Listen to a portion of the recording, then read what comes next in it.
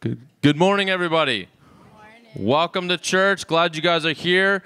Uh, I just want to clap and give a shout out again to the graduates that just graduated this last week. So clap for all the seniors. If they're here or awake, they can hear it, okay? Or they will. So the, it was an awesome time. We got to see them graduate and just see what God has for them. Continue, continue to keep them in prayer where God leads them, um, be it college, work. Um, just continue to pray for them and the decisions they have going forward. Um, I just got a couple quick announcements, and then we're just going to get into today. Uh, first announcement we have is we have summer events coming up, and we had flyers out there. You've seen it. We've had it on the screen at different times. But a couple one we have family events coming up. The first one is this sat this Saturday, the 17th. We're doing a Mario themed movie night for families here. All right, and oh, good, it's up on the screen. All right, um, and so come, families. We'd love to have you. You're gonna have popcorn. You're gonna have a good time. And I'm Mario. I, I love Mario. It's good stuff. All right, so come, tell a friend to tell a friend. All right, and we'd love to have you here. It's gonna be in this room. All right. And the second one is a family Quakes night on July 2nd. All right, July 2nd. Um, but the tickets, we have a deal with them. A deal with them. We have a way to be able to get good tickets, group group tickets. Um, if you're wanting to be able to go as a church and friends and family, you have to go on. There's a QR code or the website. If you want to click on it, we have it displayed up there. You could do it. But the 25th of June, so in a few weeks, is the last day you could be able to get those tickets at that price. So do it soon. Do it today. Do it tomorrow. Don't do it at the second because I'm standing here and I'll see you do it. All right? But do it soon. We'd love to have you guys be there. It's going to be fun. All right? So, I mean, yeah, Lars, Lars, you could do it. You could do it. All right? So let me just pray for us as we uh, join into worship this morning. I'm excited to see what God will do in and through us uh, beginning today and going through the week. God, we thank you for this day. We thank you for another day you've given us, God. I pray that you would just um, be with us, that you speak to us, God, um, that you convict us, that you call things out, but also, God, that you just call us to what we're call, call us to be who you've created us to be. I pray that we hear from you today. In Jesus' name, amen. Amen. Good morning. Amen. Call us to be who you, or help us be who you've called us to be. And that goes along with what I felt like the Lord gave us as I invite you and call you into active worship this morning. And I want to remind you of a well known account of two missionaries who were put in prison. And that was after they were um, maligned and false testimony was given against them and they were beaten. They were in the prison. And their, um, their choice was to, in the midst of the bad, that they found themselves in, their choice was to focus on the good God that they had. And many of you know which story I'm talking about in Acts 16. And what happened as a result of Paul and Silas choosing to praise God in that situation was there was an earthquake. And, and there was a ripple effect that had uh, ripples that had far reaching effect.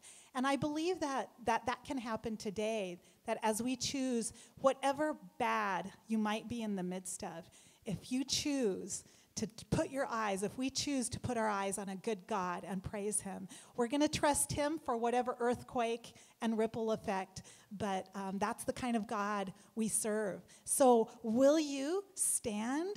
And since you're not in shackles in a prison, but whatever that place that you might feel shackled, let's just bring the praise and worship of our good God into that bad place.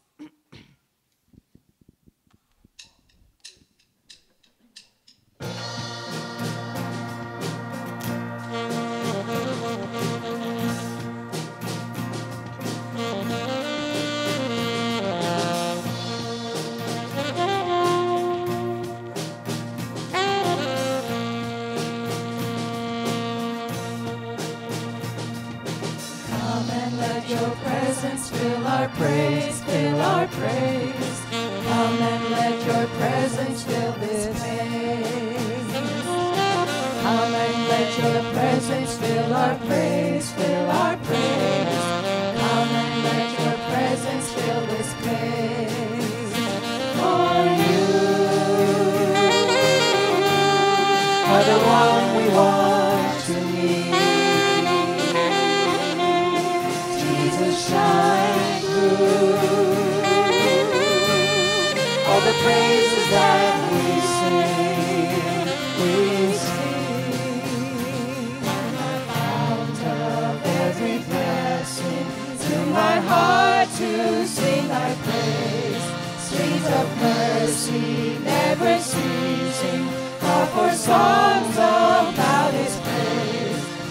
me some melodious sonnet, sung by flaming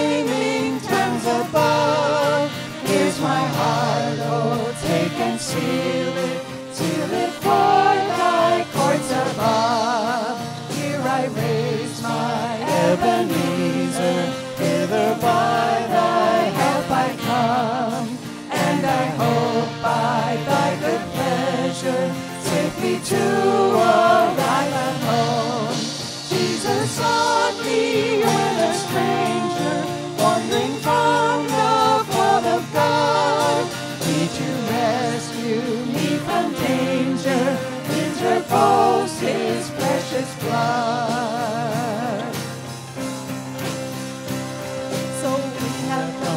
give you highest praise, highest praise. We have come to love you in this place. We have come to give you highest praise, highest praise. We have come to love you in this place. For you are the one we want shine through all the praises that sing. Let's sing that again. For you are the one.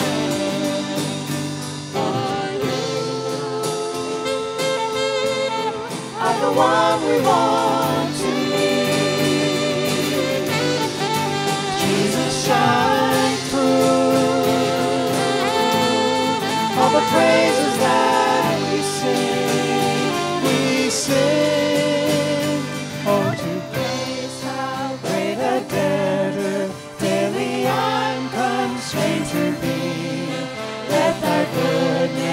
like a feather find my wandering heart to thee. Prone to wander, Lord, I feel it. Prone to leave the one I love. Here's my heart, oh, take and seal it. Seal it for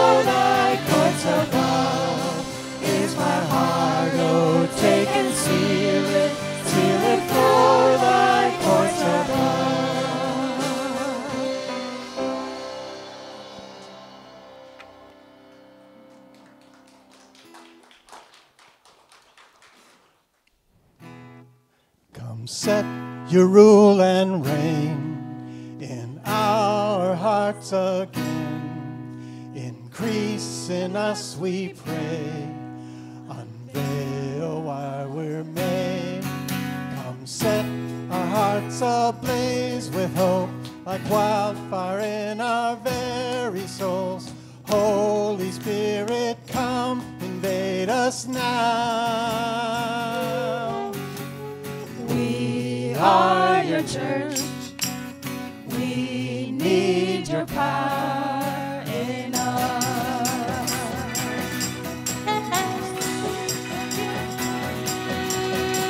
Seek your kingdom first. We hunger and we thirst. Refuse to waste our lives for your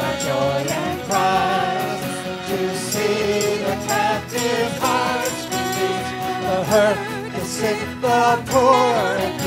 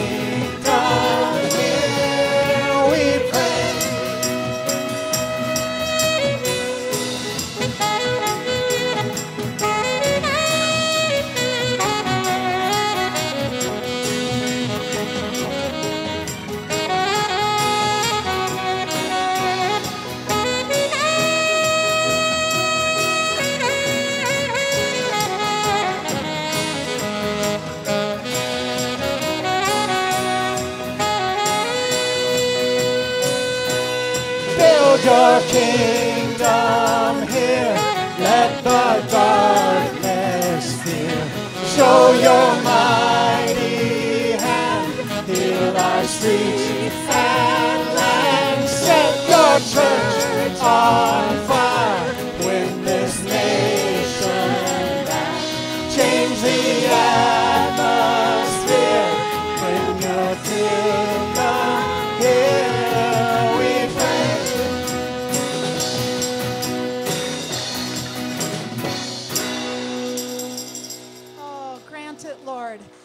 it that this would be a place where your kingdom would be built, where we would see your glory, where we would see salvation, where we would see healing,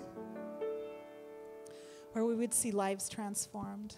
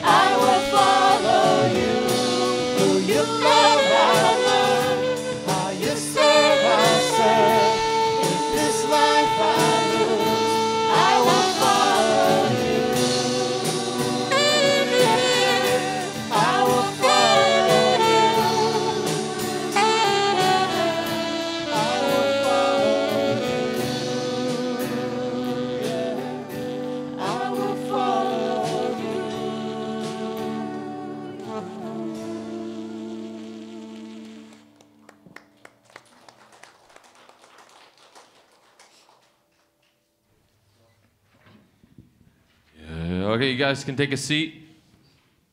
Um, I'm going to ask a few people to come up here because uh, before we get into offering, for those who are unaware, uh, now you're about to become aware, every summer we have a summer day camp that we run here, and it takes over the whole campus. All right, this room, uh, a youth room, they're all over. All right, and so start, it's starting tomorrow. It's starting tomorrow, and we have some staff members here that are going to be working. So if you are someone that is part of the staff that's going to be working this year, that you two hiding in the back, come on up. That means you have to stand, Joseph. Uh, uh, wave to everybody. All right. So who, who else? Is that everyone? Okay. This, there's so, someone else was supposed to be here. They're not here because they're sleeping. But Benny, come on up. And so we have seven staff members going to be busy. We're going to have over 150 kids that are going to be here on campus. Um, and between between preschool and day camp, uh, probably close to 300 stu- 300 kids that are going to be here on campus. So be aware and be praying for what God's going to be doing. And these are a few that are going to be working this summer, and uh, two of them is their first summer. All right, so pray for them; they don't get overstressed. And uh, but I just want to give you a vision of what our heart for the summer. And a heart for this summer is that the kids would take away that God is always with them. All right? And each week we're going to be going, we're looking at someone specific in the Bible each week to kind of challenge them and, and look at, hey, look how God used this most unlikely person to do incredible things. And so we're going to be doing a lot of that stuff, including a lot of field trips. We're going a lot of places. Um, but be praying that it just goes well that we'll be able to connect with the kids, pray for the kids, um, not just have a great time going places, but that there'll be lives changed. And so um, I'm going to ask Perry to come up. And Perry's just going to do a, a, blessing over it today. In case you don't know, I'm also, I run around there all the time. I direct it, so I'm like everywhere, all right? So I'll be running like a crazy person for all summer. So I'm going to ask uh, Perry to just pray a blessing over it. Yeah, one of the things that um, strikes me. Daniel's exactly right. 300 kids are going to be here five days a week, running around, lighting things on fire. You know, you know, the normal stuff. Um, joking aside, we have an amazing opportunity over the next uh, nine weeks through Daniel, uh, these amazing young workers, and those who aren't here this morning to touch lives for eternity. You know, how many of us had those times in our lives where he said, Vacation Bible School or some special program, these nine weeks is that time for these young people. And so, what I want to do is, I want to pray for Daniel and for uh, these three, for uh, the other ones that aren't here this morning. If I can just have you stand in solidarity with us, just reach out a hand of, of blessing. And we're going to commit this week. Yeah, yeah, let's just commit uh, tomorrow and the rest of the next uh, number of weeks over the summer into God's care. Lord, we're just so uh, thankful to have this amazing opportunity to have this many kids. I mean, we've had to turn people away. There's just so many kids that want to be here for this program. It has that kind of reputation. And Lord, uh, I want to pray for uh, Daniel and for Benny and Ketsia and Aya and for the other ones that aren't here this morning. Lord, in Jesus' name, that you would fill them with your spirit. So, what the kids see when they come here isn't just these uh, fun and good looking and, and happy leaders, but they would see you in their eyes, that they would experience a sense of of maybe peace and, and uh, connectivity and hope that they may, may never have felt in their lives before. We pray that your spirit would be upon these leaders and that you would open the, the eyes of the kids that are here and help their lives to be changed for all eternity. So thank you, God, for this opportunity. Bless these, uh, these leaders. In Jesus' name, amen. Amen. Thank you, brothers and sisters. And just a reminder this morning yeah, let's give them a confirmation. that's just kind of a side of public service is that they begin using this room first thing in the morning. So at the end of our service, uh, uh, every uh, Sunday for the next nine weeks, we're going to put all these chairs away, see if we can do it in like, we'll try to break a record every week, okay? So God bless you and thanks. Hi, everyone. My name's Nick. I'm one of the pastors here. Good morning. Good morning. I'm interactive, so don't worry. Um, isn't it awesome? Our message this week is called Dream Big, Pray Hard. And I just think about the 300 kids that are coming this week. That is truly dreaming big and praying hard. And on top of that, all of our young leaders that we're seeing raised up, and Dan. Um, ouch, tough crowd today. All right. um, we are just seeing God moving in our community. And that's a, that's a huge dream answer to prayer. And as we continue to pray for our community, just seeing the impact of our church in this community is an amazing thing. Amen? Amen. All right, let's pray over the offering and pray over just the impact that this church is doing. And I just want to remind you if you guys haven't had a chance to connect with us, you can always connect with us online. We have uh, My Ubic, which you can get signed up for, which can send you emails. So if you're on vacation this summer, and like, what is the amazing thing that's coming up when I get back?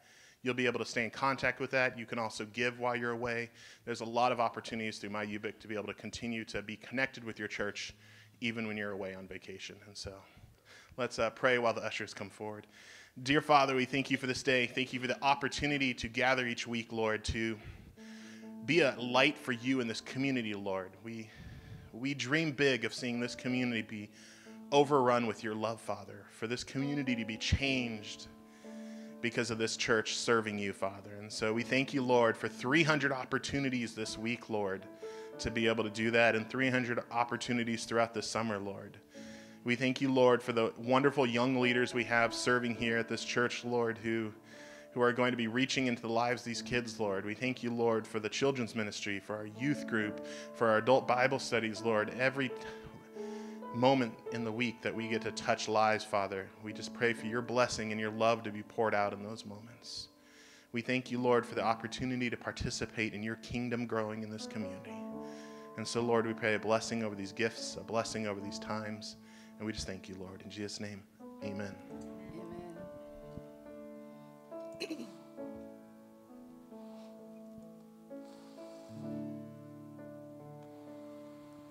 Let the king of my heart be the mountain where I run, the fountain I drink from. Oh, he is my song. Let the king of my heart be the shadow of my heart, shadow. Oh, he is my song. You are good, good. Oh, you are good. Thank you, Lord. Good. Sing verse one again. Oh, let the king of my heart be the mountain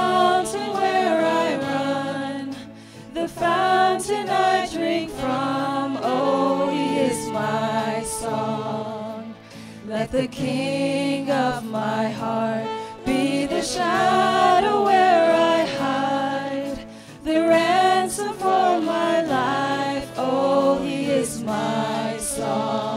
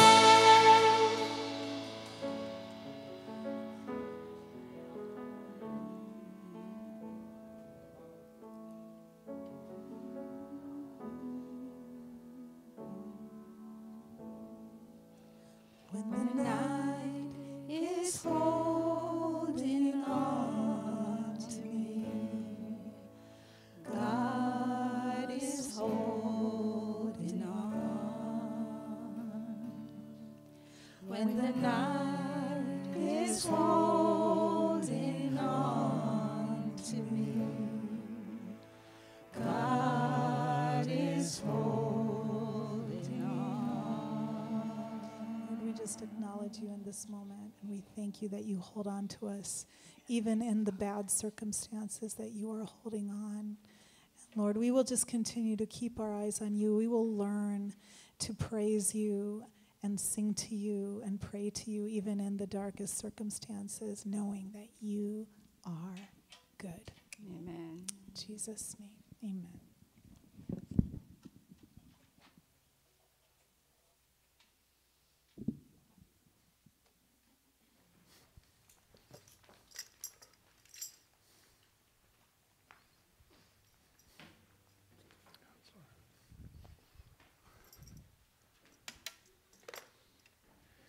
Well, every once in a while, in a, a message, a lesson that we, we study in, uh, in Scripture, there's a little bit uh, more explanation that may be uh, needed. Last week, there a number of you uh, let me know about uh, the significance of one of the, the points that uh, we, um, we studied in Nehemiah chapter 1.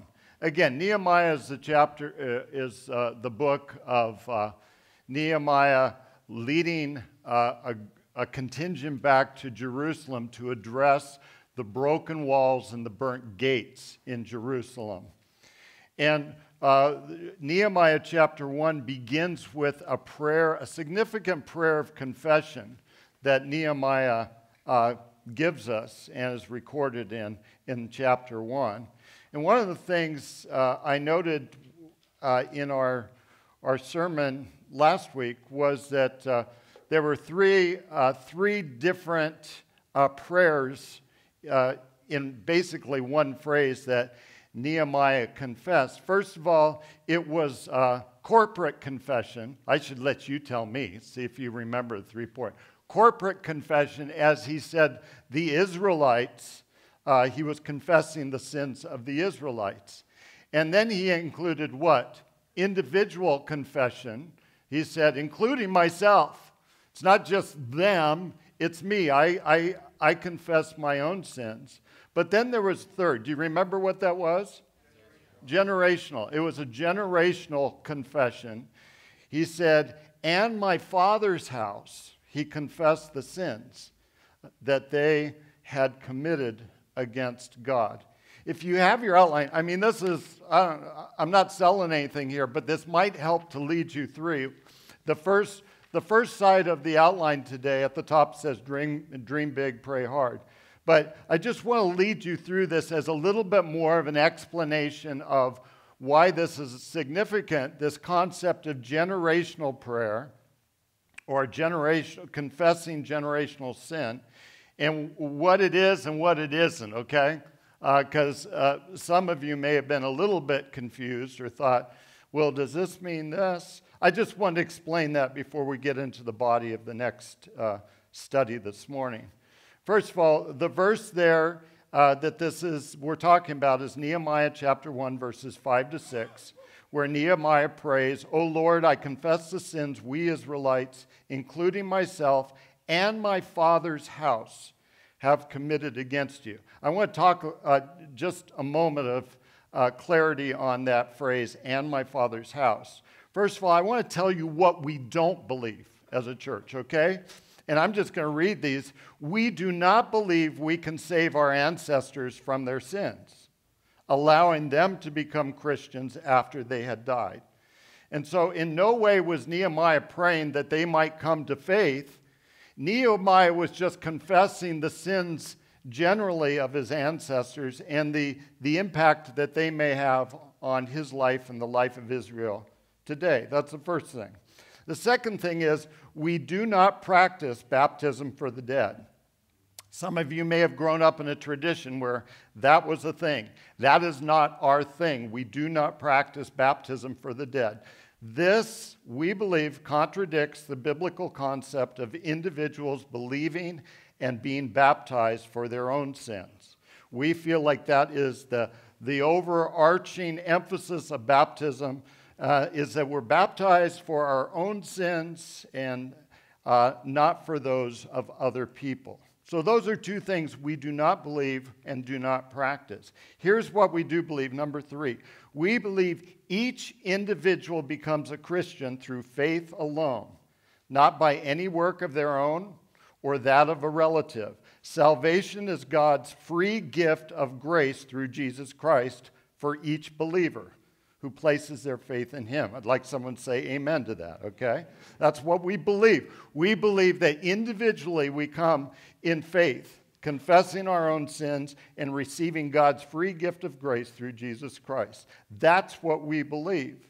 And so, to the point of this whole idea of generational, the confession of generational sin, we come to point number four. Here's what we believe in agreement with the example of Nehemiah chapter 1, verse 6. There is a time and a place for prayers of confession that, in, that include confessing the sins of our ancestors. The purpose of these prayers is to break the chains of influence and oppression that our ancestors' sins may have over our present lives and the lives of our children and grandchildren. So, so for example, some of you who have, uh, uh, you're like the first in your family line to have come to faith in Jesus Christ. You look back and you see, you see sins in your family line. It may have been alcoholism or abuse or, or unbelief or, or maybe even pagan practices or, worshiping other religions. It may be, we're not saying that it absolutely is true, but it may be that those sins from the past, from our ancestors in the past, can bleed into our current lives and that they can impact us. Uh, maybe we still have relatives that are alive and, and they're speaking into the lives of our families or the lives of our children or our grandchildren. We're saying that Nehemiah gives us the example that we can confess the sins of our ancestors and ask God to break the chain of oppression and influence on our personal lives and the lives of our families going forward. We're not saying anything else about what Nehemiah was talking about except to say that there is a time and a place for prayers of confession that include confessing the sins of our ancestors. Let me just go a step further. Some of you uh, were, were really moved and taken, maybe even convicted by the prayer that we prayed last week. There was a prayer for generational sin. I have run off a, a few copies of this that are just out in the uh, cafe on a green sheet of paper. Uh, it's, uh, it's called Prayer for Generational Sin. You may want to take one of these, adapt it to your own needs, maybe fill in some of the blanks or, or some of the places, and, and say, I want to use this. Someone has already told me uh, we are using this as a family to kind of lead us through to make sure that we are standing on the grace and the power of God's Word right now, and in no way are allowing the, the past sins of our family to bleed into the present. You can take one of these. I found one typo, which I hate. I hate when I do that. But uh, you can take one of these. And I would also say if you would like to receive some counseling or some personal prayer, you think, well, Sunday morning is not really the time and place. We'd say, absolutely. But if you would like to say, hey, I would like to have a prayer counseling session, and, and I would like to. Uh, maybe me and my husband or just me come in and just kind of be led through a prayer of, of uh, kind of breaking the bonds of the past, so to speak, we would be happy to do that. You know, contact me personally. Stephanie is our prayer leader. Contact Stephanie. We could set a time. It's not a, like a big woo woo type of thing. It's like, uh, no, we would just get together and help lead through on, on some things. Some of this uh, generational prayer that may be having an impact on your life or your family's life today. Um, so you may have more questions, but that's the best I can do at this point to just kind of uh, let you know that we want you to have complete clarity when we touch on something that's a little bit maybe you haven't heard about before or, or you think is, is uh, just something that's different for you? Again, at every point. The only reason I raised that last week, I'd never preached on that before or taught on that before, on this concept. The only reason I brought it up, it's in God's Word. You know, I'm like, oh, man, God's Word will just kind of blow me away from time to time. And I'm saying, I've never seen that before. Did a little studying. I thought, this is a thing. And so, uh, if, if that fits for you and you want to go further on that, we would be happy to uh, give you some counsel. That's from last week. Let's get into this week. This week, chapter 2 of Nehemiah. Before uh, we read the Word of God, let's pray together. God, we're always thankful for clarity when we have questions. We are impacted by the power of your Word and by your Spirit in interpreting that word for us. But Lord, we don't want to go far off a field and astray. We want to stick solely to your word and apply it to our own lives. And Lord, if there's anything in us, anything we need to confess, either as a, as a people, as a church, as a, as a nation, as individuals, or even for our ancestors, Lord, we pray that you'd bring that to mind and help us not to be chained to those things from the past. So be with us as we look at your word this morning. We pray this in Christ's name. Amen. Nehemiah chapter 2, uh, verses 1 to 2. And uh, I think I'm just, I didn't really even decide if I'd just read the whole thing through. Uh, let me read part of this, this passage through, and then we'll go through uh, point by point, okay? This Nehemiah chapter 2. Uh, again, this is uh, the setting is Babylon. Uh, Nehemiah and uh, children of Israel are in, in exile. The year is about 445 before Christ. Chapter 2, verse 1. In the month of Nisan, in the 20th year of King Artaxerxes, when wine was brought for him, remember that Nehemiah was the king's cupbearer. Uh, when wine was brought for the king, I took the wine and gave it to the king. I had not been sad in his presence before, so the king asked me, Why does your face look so sad when you are not ill? This can be nothing but sadness of heart. I was very much afraid. But I said to the king, May the king live forever. Why should my face not look sad when the city where my fathers are buried lies in ruins and its gates have been destroyed by fire? The king said to me, What is it you want? I'm sure you could just kind of hear him taking a breath. Then I prayed to the God of heaven, and I answered the king. If it pleases the king, and if your servant has found favor in his sight, let him send me to the city of Judah where my fathers are buried so that I can rebuild it. Awkward silence. Then the king, with the queen sitting beside him, asked me, How long will your journey take? And well, and when will you get back? It pleased the king to send me. So I set a time. Let's just pause there at the end of verse 6. Um, you can only imagine when you, you are in the presence of a, of a monarch who has absolute authority and absolute power over life and death of anybody who comes into their presence. Even if you have been given the favor of being a cupbearer, and cupbearer is pretty important because everything that uh, the king drinks uh, you would drink first to make sure it's not poison, you won't pass anything.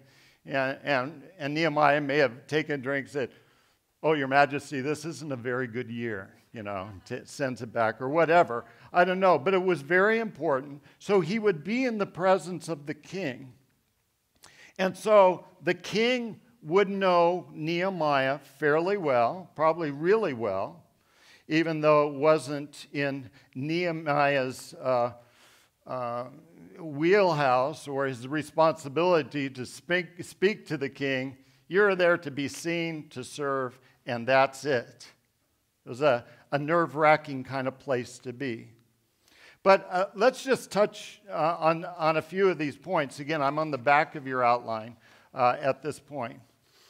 Uh, and we're talking about what we learned from Nehemiah's dream of rebuilding the wall in Jerusalem. And I'm not talking about a dream he is laying awake at, uh, or uh, asleep at night and he had this weird dream. No, I'm talking about a dream of a, a, a larger task that he felt God had placed on his heart.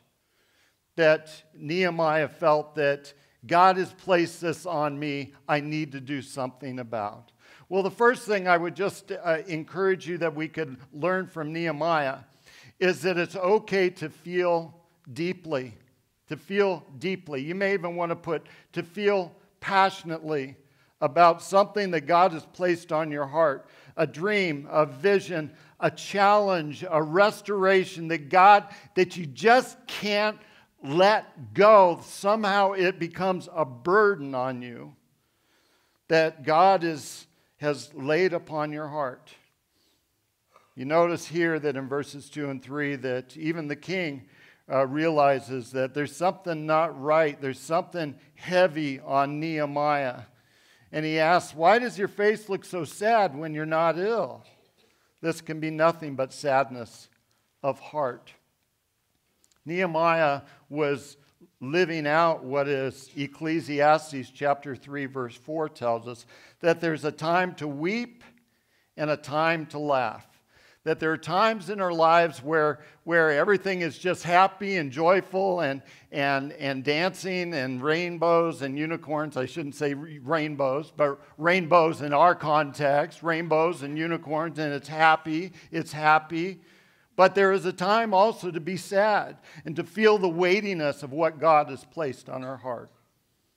God had placed the, on Nehemiah's heart a man who was a thousand miles away from Jerusalem. Imagine that. That God called someone who was that far away. It would take him a, a, a journey of two or three or four months even to get back to Jerusalem. God placed on this man's heart the vision of his, uh, to stir the vision to rebuild the wall. I have a quote in the front of my Bible. I write things in there, and one of the quotes is from Bob Pierce, who is the founder of World Vision. World Vision is a world relief organization, a Christian organization. But Bob Pierce made this comment one time significant enough that I would put on the front of my in the front of my Bible. He said, "Let my heart be broken by the things that break the heart of God." Isn't that a good quote? Let my heart be broken by the things that break the heart of God. And I think that's what we are experiencing here, or what Nehemiah was experiencing as he felt so deeply this burden after the word had come to him that Jerusalem was in, in ruins. He allowed God to, to, to feel the weight in Jeremiah of, of this need. And I would just encourage us uh, brothers and sisters, that as we, th- we think about what kind of dream God is placing on us individually and as a church, that we let our hearts be broken like Nehemiah by the things that break the heart of God. Only when we experience the depth of need around us can we experience the beauty of God acting on our behalf. So that's the first thing. We, we learn to feel deeply from Nehemiah. Secondly, we learn to dream big, feel deeply, and dream big. You know what? The Bible is a book of big dreams empowered by a great God. I want you to hear that. It is a book that is filled with big dreams, empowered by a great and awesome and big God. Think of, of some of these people. Abraham was open to the dream of being a blessing to all nations, Genesis chapter 12. Joseph was open to the dream of sustaining two nations during a seven year famine. Moses was open to the dream of being used by God to go into the presence of the, the greatest leader of that time, the Pharaoh of Egypt, and liberating his people from captivity. Joshua was open to the dream of gaining possession of the promised land. in the midst of, of, of very real enemies. David and Solomon were open to the dream of building the temple there in Jerusalem. And years later, Nehemiah was all in on the dream of rebuilding Jerusalem's walls. You know what? Um, there is there is no dream that's too big that our God can't handle.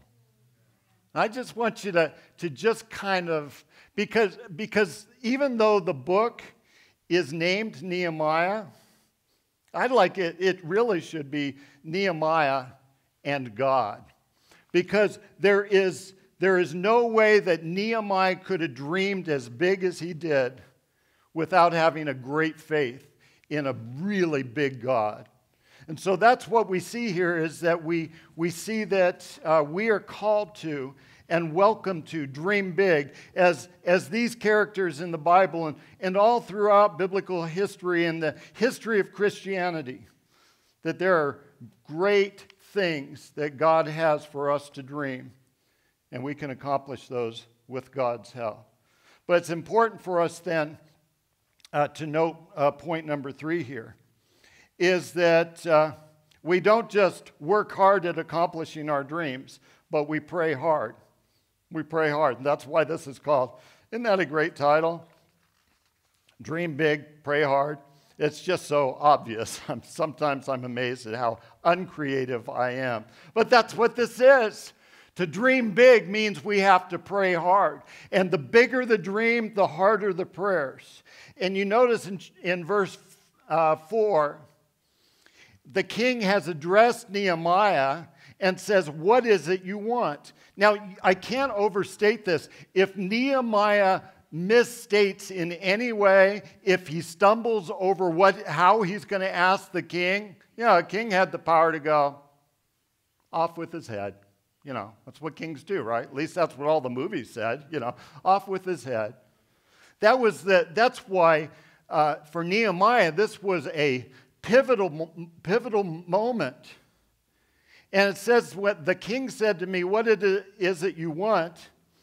Uh, it doesn't say that Nehemiah answered. It says, Then I prayed to the God of heaven. Can you imagine him, the, the king addressing Nehemiah, and Nehemiah goes, Can I just have a moment? Oh, God. Oh, God. and then he goes, Oh, king, here's my answer. Then I prayed to the God of heaven, and I answered the king. We need to get real with the need for prayer in our lives. The bigger the dream, the bigger the need for God. Amen? The bigger the dream, the bigger the need for God. Nehemiah never lost sight of his dependence on God. I, I say this all the time. Stephanie hears me say this all the time. Nothing great for God will ever be accomplished apart from prayer. Say what? Nothing great for God will ever be accomplished apart from prayer. And so when, when Nehemiah says that Nehemiah prayed to God in heaven, it was really him saying, God, I cannot do this without your protection and your ability in my life. Andy Stanley, a, a pastor in the Atlantic, Atlanta area, wrote this in a book called Visioneering. He said, The bigger the dream, the more important it is that your faith be grounded in God's ability and not yours. The bigger the dream, the more important it is that your faith be grounded in God's ability not yours. It's not just about dreaming big for, for our families, for our personal lives, for our church. It's not just about dreaming big. It's about understanding that those dreams are rooted in God's ability and not yours. We're just, we're just available to God, you guys. We're just available. I'm just available. I try to be available. Just be available and see what God will do. George Mueller in 1870 created this whole network of orphanages in England. there are almost 1,800 children that, that he was supporting who were orphans in 1870. But the, the crazy thing about Mueller was that he never made requests for financial support. Never. He never asked anybody for money, which is crazy. I'm just telling you. He needed to have offerings every single Sunday. But he never asked anybody for money, and he never went into debt. How'd Mueller do it? Mueller was in constant prayer that God would touch the hearts of donors to make provisions for the orphans. That was his strategy. On one occasion, history tells us, and this is well documented, they were giving thanks. All the orphans were uh, sitting around tables. Thanks was given for breakfast when all the children were sitting at the table, even though there was nothing to eat in the house. You guys, not good. There was nothing to eat in the house. As they finished praying, maybe Mueller went on a little bit longer than usual. As they finished praying, the baker knocked on the door with sufficient fresh bread to feed everyone. And the milkman gave them plenty of fresh milk because his cart had broken down in front of the orphanage. Brothers and sisters,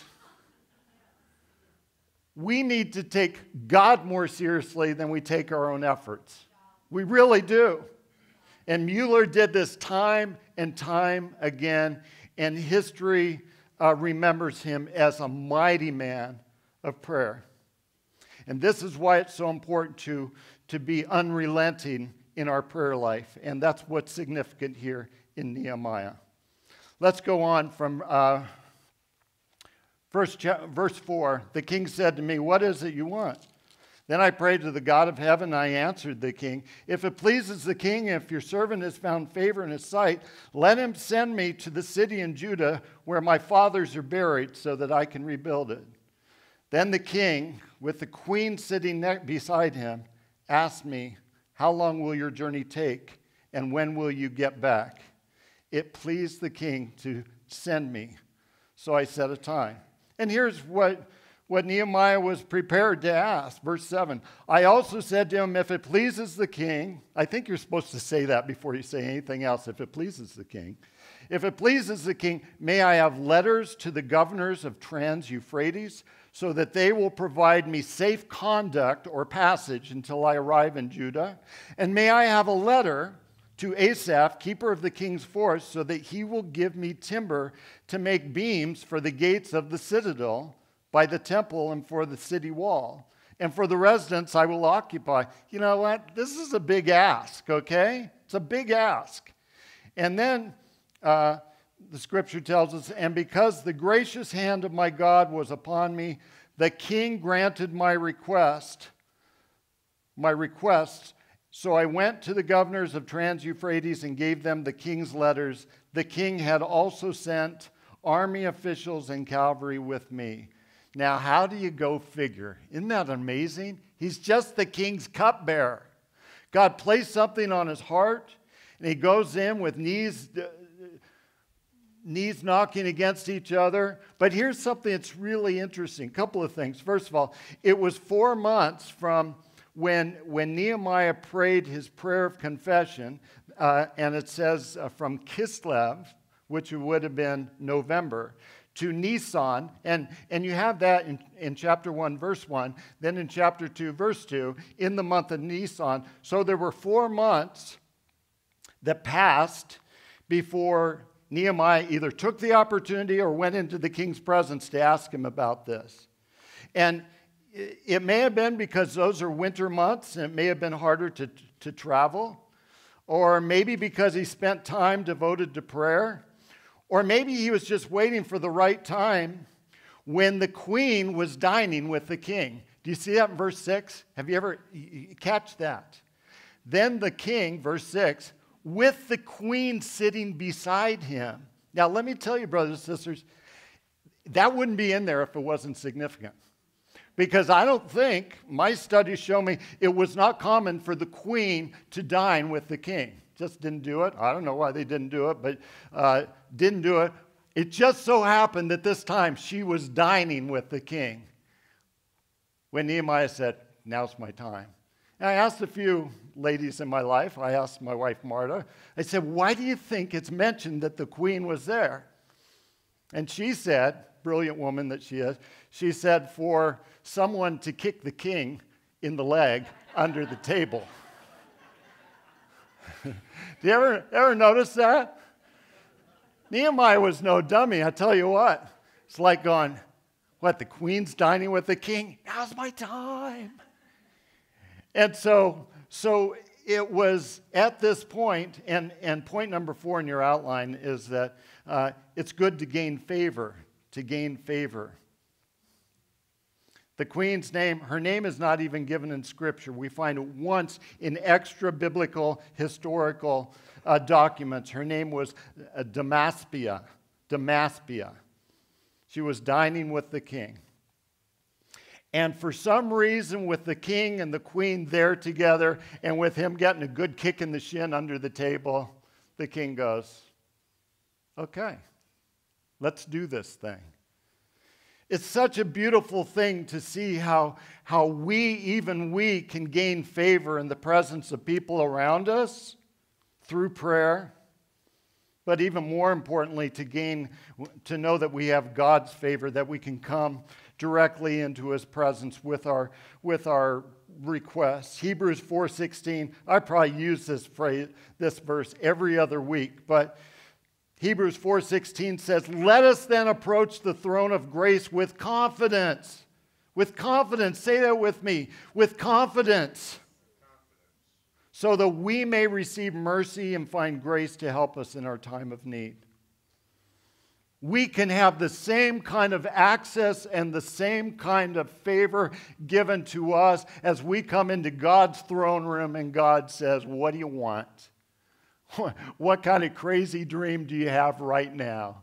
And we can go in. We don't need to have a queen that kicks God in the shin. God is there, all ears, and saying, You know what? If it's in my will, it's according to my plan, we'll build my kingdom. Let's do this thing. And so Nehemiah gains favor and he gets these letters of passage and he actually gets some, some guys, uh, some, uh, some of the, the lumberjacks from Babylon to go with him to cut wood. And they went as this contingent into Jerusalem. Imagine the scene. And imagine how Nehemiah was traveling, going, just pinch me, just pinch me. I can't believe, I can't believe this. After four months, they're headed off into Jerusalem. Point number five is that once uh, Nehemiah got there, he needed to assess the challenges. He needed to assess the challenges. Let's read verses 11 to 16. I'll try and pick this up a little bit since I'm, you know, I, want, I don't want us to drag through this. Verse 11 I went to Jerusalem, and after staying there three days, I set out during the night with a few men. I had not told anyone what my God had put in my heart for, for us to do in Jerusalem. There were no mounts except me, with me, except the one I was riding on. He had the only horse, was riding around. Everybody else was on foot. By night, I went out through the valley gate towards the jackal well and the dung gate, examining the walls of Jerusalem, which had been broken down, and its gates, which had been destroyed by fire. Then I moved on towards the fountain gate and the king's pool, but there was not even enough room for me to get my mount, to get my horse, to get through. So I went back up the valley by, the, by night, examining the wall. Finally, I turned back and re entered through the valley gate. The officials did not know where I had gone or what I was doing because as yet I had not said anything to the Jews or the priests or nobles or officials or any others who would be doing the work. I like that because he's not going to talk to them about the work that needs to be done until he exactly assesses the work that needs to be done. Then he's going to go back to them and say, hey guys, here's the need, and here's what I need from you. Verse 17. Then I said to them, You see the trouble we are in, in we are in. Jerusalem lies in ruins with its gates, and its gates have been burned with fire.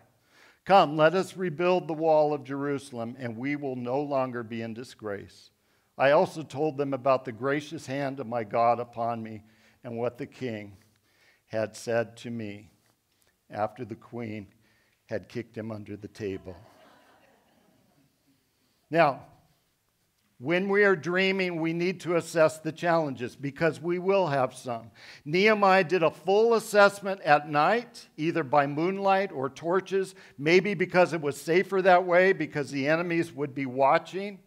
He did this at night with a few men, with only himself on a horse.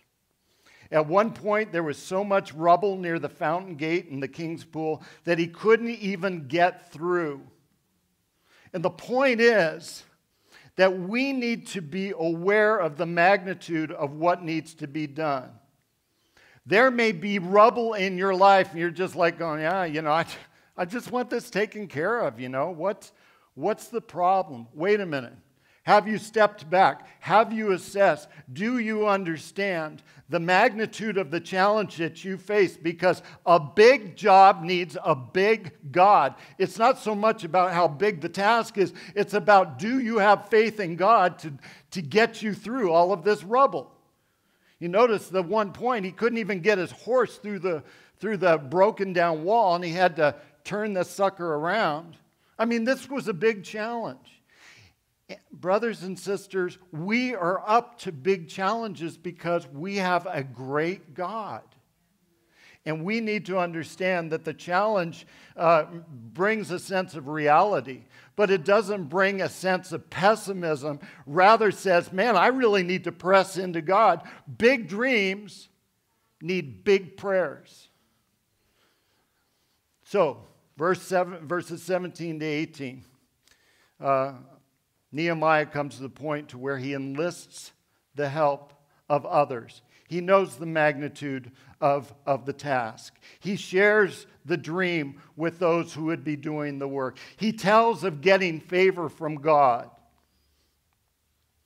He wants them to know what God has already accomplished in getting him there, which was no small feat. I have found, maybe you've found, that people are motivated to help people with a big dream and a big God.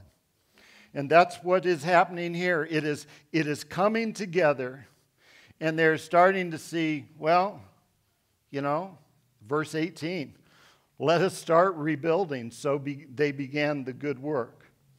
But every big dream, doesn't it, always has opposition. And we need to, point number seven is we need to expect opposition.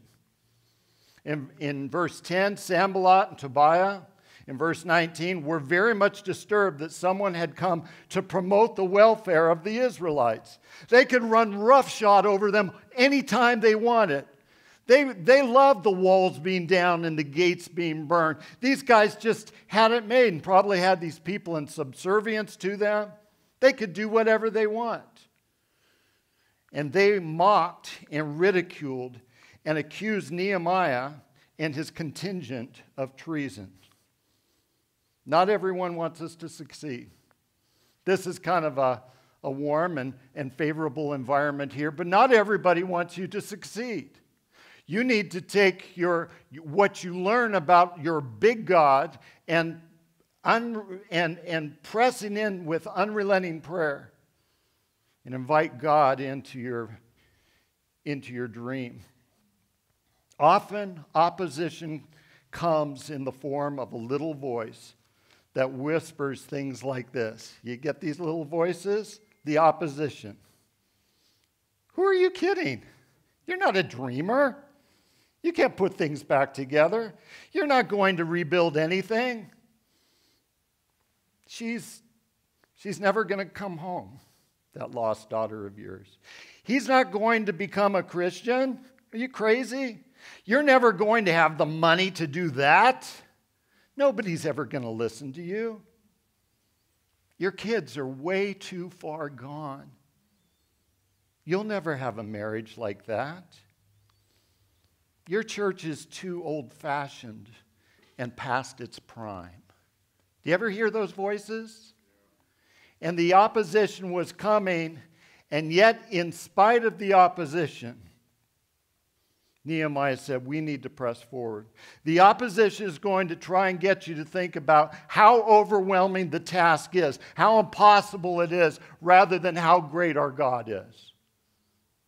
And when we focus on the impossibility, when we focus on the, the largesse of, of the dream, of the task, of the impossibility of God putting family relationships together, when we focus on that and not on God, we've lost. We've already lost.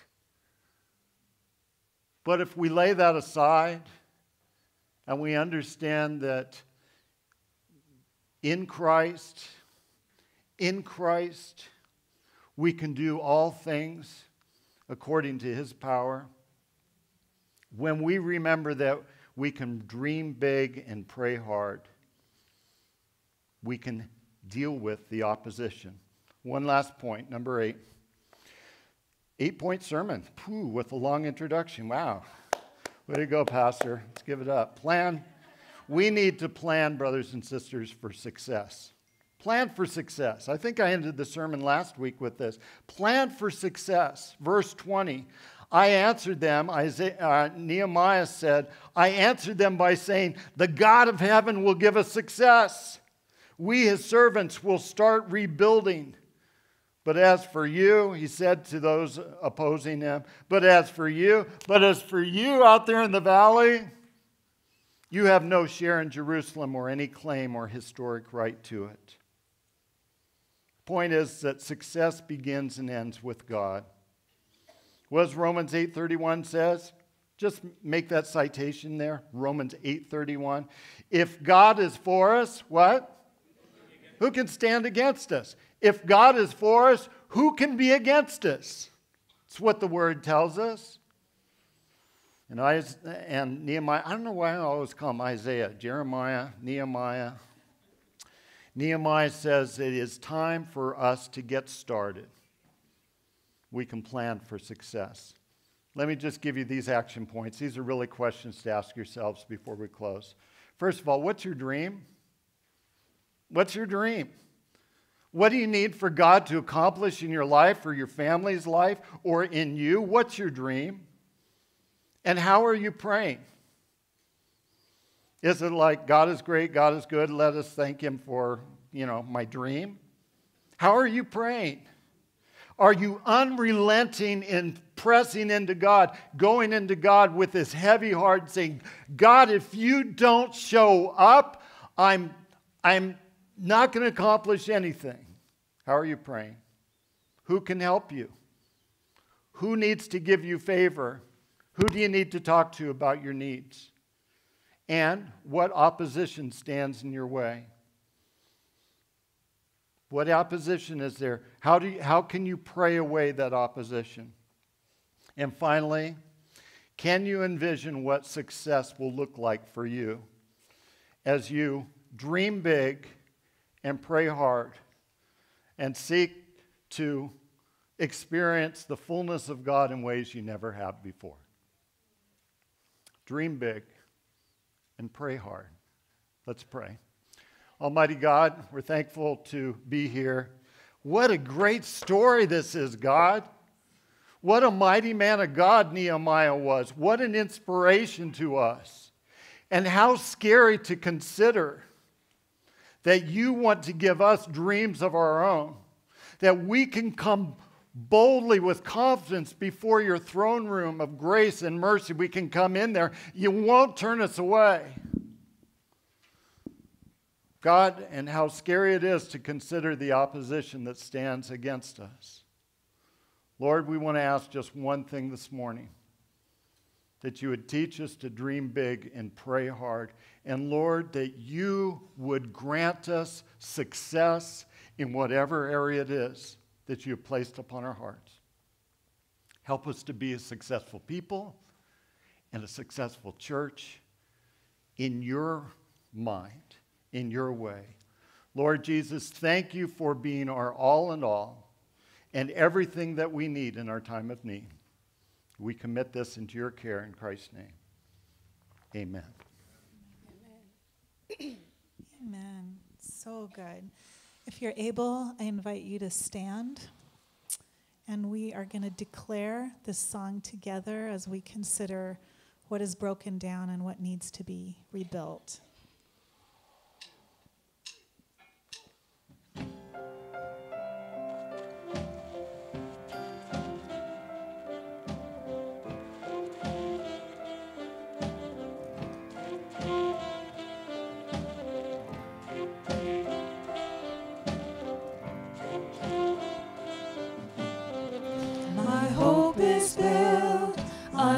nothing less than Jesus' blood and righteousness. I dare not trust the sweetest frame, I wholly trust in Jesus' name. Let's sing that again. My hope is built on nothing less. Jesus' blood and righteousness. I dare not trust the sweetest friend, but wholly trust in Jesus'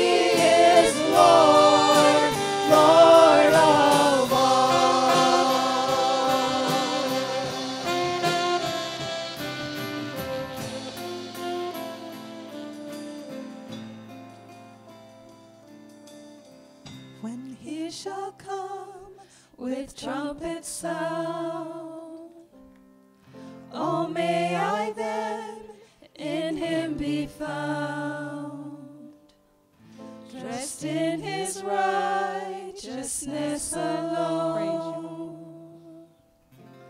faultless stand before the throne.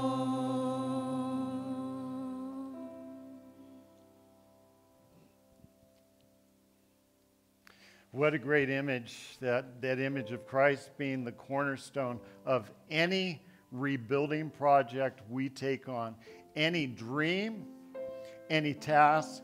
Jesus Christ is the cornerstone.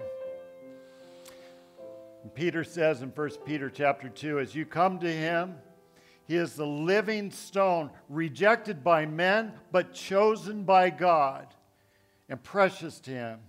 You also, like living stones, are being built into a spiritual house to be a holy priesthood, offering spiritual sacrifice acceptable to God through Jesus Christ. Jesus is the chosen and precious cornerstone. And the one who trusts in him, the scripture says, will never be put to frame or to shame. Never be put to shame. God, thank you for this morning. Thank you that we can, we can begin our building on Jesus Christ, the chief cornerstone, the one who is chosen by you and precious. May we always know that as we rebuild in God's strength, that it's on Jesus, our Lord and Savior. Amen and amen.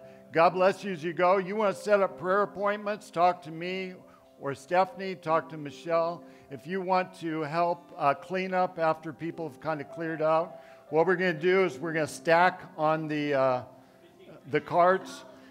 It's 20, 20 chairs high, okay? And you can do that anytime following right now. God bless you as you go. Have a great day in the Lord.